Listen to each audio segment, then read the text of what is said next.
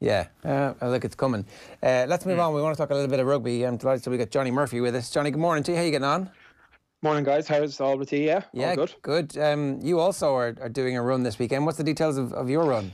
Uh, yeah, we've a um, a big rugby run. Um, we have about uh, how many? We've got about over fifteen hundred people uh, participating. Um, we've raised probably in around seventeen grand, um, and we're going to cover a distance of hopefully over five five thousand kilometers. So um, it's across uh, rugby league, rugby union, um, kids, uh, players. So there's three past uh, uh, past player teams from Munster, one from Leinster, one from Connacht.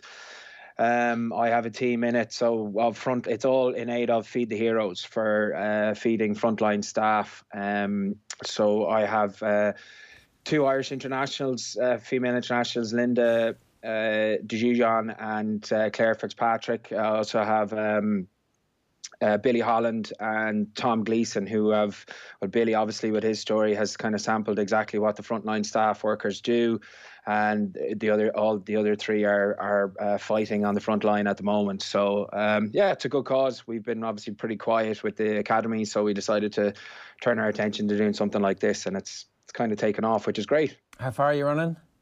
You? Uh, I I'm yeah I'm running uh, 10.5k. Right. the furthest I've uh, ever run. So I did 8k lat at the start of this week, and um, yeah, I have a newfound respect for anyone that consistently runs 5ks or anything past that. It's it's a bit of a mental dredge. I'm carrying still carrying a bit of extra timber, so that doesn't particularly help uh, when you get past 5k. It's uh, it's hard on lockdown not to be carrying a little bit of extra timber. It turns out. yeah, I would agree.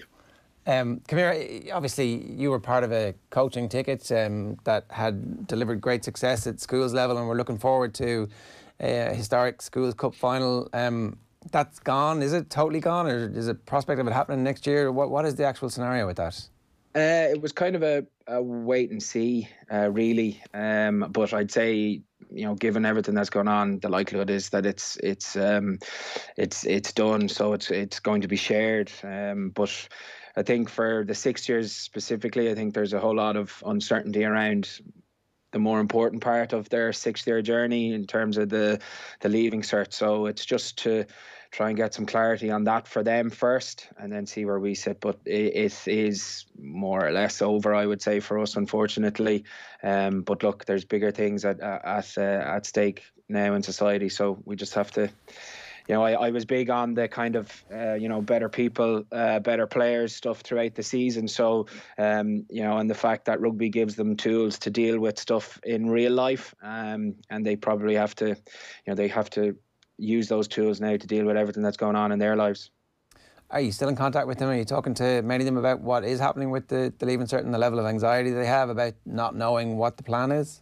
Uh, yeah, I'd be in constant. I'd be in good bit of contact with uh, Marcus Kiley, who'd be our captain, um, and you know he's pretty level-headed guy. Um, so he's fine, but there is a certain amount of anxiety across the board, and they just don't really know what what what to do. Um, I've been lucky that my six-year group are would be a very intelligent group of young men, so they kind of get the responsibility attached to them, but they also um, like there's probably more guys going for academic scholarships in in uh, in college than there are for athletic scholarships. So um, the exams would be a big big part of. A lot of them want want to do it because they feel they can kind of like the mocks were in the middle of the cup campaign. So, you know, if they do go predictive things, probably not a lot of lads would have been in a good spot then. You know, um, so it's difficult. It really is difficult for them. But you know, hopefully there's a a resolution soon. You know, uh, there's talk of that over the last couple of days, but I think they they certainly deserve that.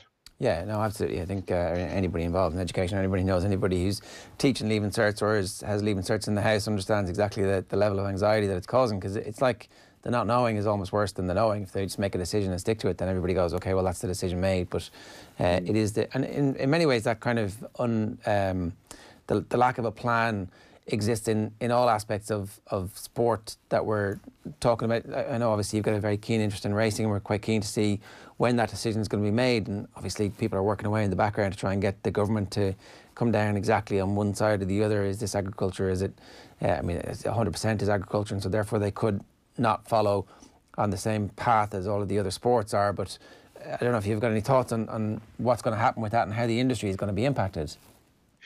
Um, yeah, I think it's it's everything is just in a holding pattern, and and it's very difficult for people to plan. Um, you know, like we had a we've three horses in a syndicate. One was supposed is literally yesterday just went to a pre-training yard on the on the hope that racing would be starting at the end of the month or in, in June but we had to hold off on that because we don't really know where we're landing at the moment. Um, we unfortunately two of the three were ready to run the first weekend. Uh, we didn't get there, um, but I think there was a realization that that was the right thing to do to to cancel everything and and society needed it needed to happen. So, but now things. Uh, you know, I think I was listening to Anthony earlier on. There is going to be a certain um, you know aspect of that we have to kind of live with this now. We have to a new normal as everyone is is talking about. So it's to find best practice ways of of doing you know living your your daily your daily life your your job. And you know i think racing has done it before so hopefully they get an opportunity to show that it, it can be done sooner rather than later. But the, i suppose the difference in racing is that horses need to be ridden out every single day and because everyone needs staff, they can't furlough the staff. So it's the equivalent. I'm not sure whether it's a good analogy, but it's the equivalent of telling you know the vintners that they need to bring in all their staff. They need to pull the exact same amount of pints, but they can't sell any of them. Um, and that's the reality of of where the the, the training yards are, the breeders are, um, the breeze up guys. No one knows what's happening because the ra- racing is kind of the showcase, but it's only the the top layer. There's a huge amount underneath that that goes to. Uh, it's a massive, massive industry, and and that's in a lot of worry at the moment. I think any trainer under who has between 35 horses and down, if it is going to be the 29th of June or, or July, is what what was people are are potentially thinking they're going to be under a lot of pressure, and that's going to mean a loss of of more jobs. Yeah, and, and that's where people begin to get very anxious about what's happening again. And like, I know obviously nothing can be done to jeopardize public health, but finding a way to live with the public health issues is kind of the next stage where all of our brain power needs to be focused. Now, in terms of the situation with regards to rugby, I don't know, uh, like there's a very interesting piece today with Dana Falvey where he's talking about how he thinks that there might be rugby in New Zealand and, and Australia relatively soon. Um, we're going to see the, the rugby league back in, in Australia first, and then very soon you'd expect to see rugby union back after that. So um, that's kind of green shoots of hope, and certainly World Rugby seem to be on top of exactly what the protocols would need to be to play. And he he thinks that there will actually be uh, matches and potentially before spectators um, by the end of the year in Ireland. Certainly the interprovincials will, will be the ones that come back first. Um, the sport is in a fairly precarious situation, it seems, with regards to its finances, and it's certainly expanded very rapidly. So it's going to be interesting to see how well they, they come through this, or, or what rugby looks like on the on the far side of it. Uh, yeah, I think that's going to be uh, going to be the thing. We there's different reports that come out. I've seen the um, New Zealand return to play protocols. Uh, there's one that's just been published actually from the Swiss Rugby Union. It's a five stage protocol. Um, so it's the New Zealand one is four stage. So it, it's it's going to be how we manage through and I think everyone knows it's the close contact quarters that are, are, are the issue in rugby. Um, but I think there is a just a you know an acceptance that rugby behind closed doors or within what a, what the government re- guidelines are on gatherings, public gatherings, that's just the way it's going to be.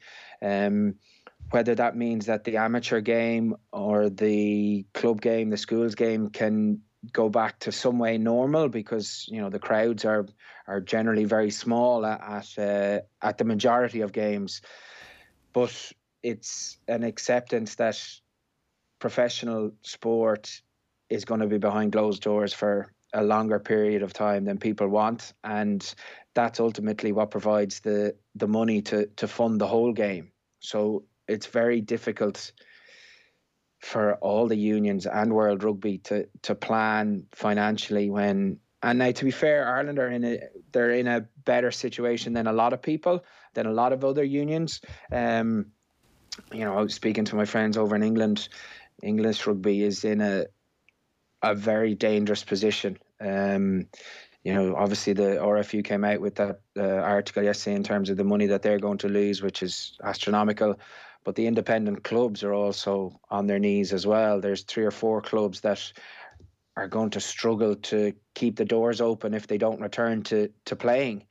And you know, people Newcastle have furloughed every, nearly all their staff. You know, there was an article a couple of weeks ago. Dean Richards offered his services back to the police, given he was a police officer before he went into professional rugby.